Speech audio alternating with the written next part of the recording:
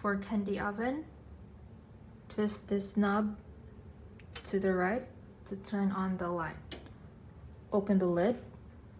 Also, please make sure that the main switch is on. Twist on this knob to set the temperature and to turn on the stove inside to broil. To check, hold the knob